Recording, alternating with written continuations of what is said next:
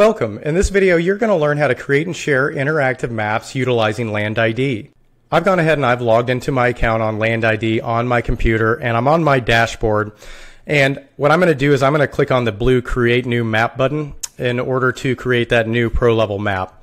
So when I click on it, it's going to ask me to select the state I want to make the map in. I'm going to make that map in Wyoming. It's now focused me on that state I've selected. And in the top left, I want to draw your attention to search options. So by default, we're going to be on a search by address function. If I click the arrow next to the word address, it's going to give me the ability to search by a township range section, a latitude, longitude, and then under parcel searches, I can search for a particular parcel ID APN. I can search for multiple properties, but that somebody owns through owner name or owner address. Let's go ahead and we're going to search for a town under the search by address. So we'll search for Jackson, Wyoming. It's going to give me drop down selections below as I start to type. I'm just going to click on the appropriate one. And you can see it now zooms me in on Jackson, Wyoming. Wherever I pan, I'm seeing property boundaries and owner names as labels on the map. And very straightforward for me to start the map creation process. I'm just going to click into the property I want to create a map of, that's going to highlight that property in blue and pull up our land ID card on the left side. So the land ID card, it has a wealth of information about this property and the area that surrounds it. Very easy for me to understand all of that data. All I need to do is I can scroll through that information. Information like assessed value, tax information will even show you mortgage information, sales date, sales price information if we had it. And then we can also scroll into seeing thematically what's going on water wise on the property, uh, contours, public lands that might surround the property. If I zoom out, you can see that a little bit better. If I go into boundaries, we're going to be focused on land use, city limits, school information, opportunity zones.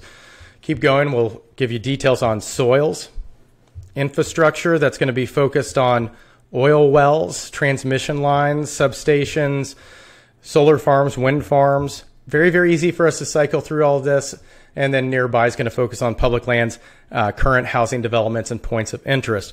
So I can also navigate those different sections of the card on the left side just by clicking on these different topics. And if I go all the way back to the top of my land ID card, I see I've got two buttons here, save boundary and select more parcels. If I'm good with the, the boundary that I've selected, I'm just going to hit that blue save boundary button.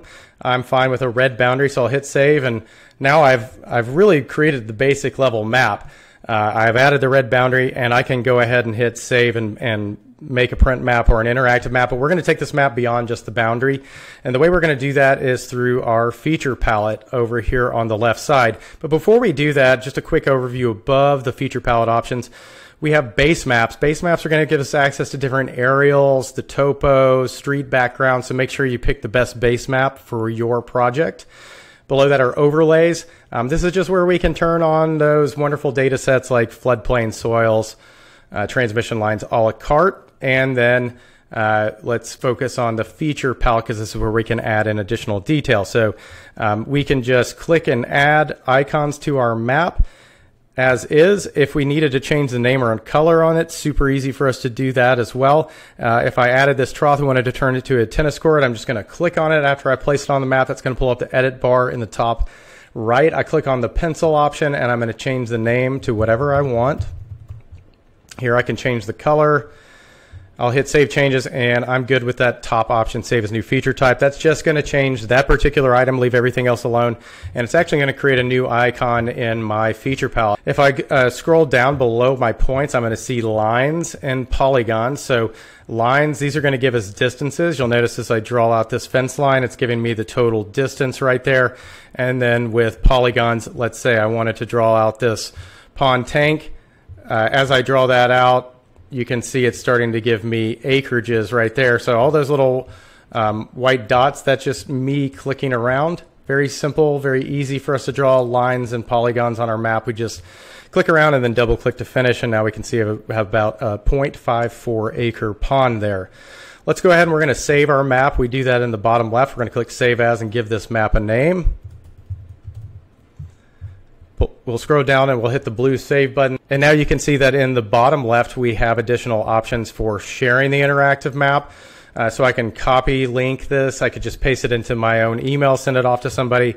I could send them an official interactive uh, land ID email map through this option, and then I could embed this into my own website through our embed options that run on iframes. If I want to preview how this share map is going to look before I send it off to somebody before I embed it, all I need to do is I'm going to hit that preview map button down below. That's going to open up a new tab in my browser and I can see exactly what that experience is going to be like. So the interactive map, it's a great way to share your map with somebody. They can zoom in and out on it. They can access the base maps in the top right. We even have little measurement tools they can interact with. They can go into 3D in the bottom left. And then in the map legend, they can access all those wonderful overlays as well. Just going back into our edit map version of this, right next to the share option over here in that bottom left, we have the print area. This allows us to make high resolution PDFs and PNGs of the property. And what I want to finish off is showing you that connection between the Land ID web version and the mobile version of Land ID because they're synced together. Now, when I first open up the mobile Land ID app, I'm going to be on my Discover map, and you can see that's indicated in the bottom left on that Discover button, highlighted in blue. If I want to access the pro level maps that I've created, I'm going to click on My Maps at the bottom navigation bar. And when I do that, you can see here's the map that we just created on the computer. So it's again, uh, mobile and web versions of Land ID are synced together. When I open up this map, we can see this is the map we just created. I want to just draw your attention quickly to two really high profile things we can do out on site using the Land ID mobile app. Those are located in the blue button in the bottom right, the little pencil ruler option. There we have a photo option. We can click on that photo option when we're out on site.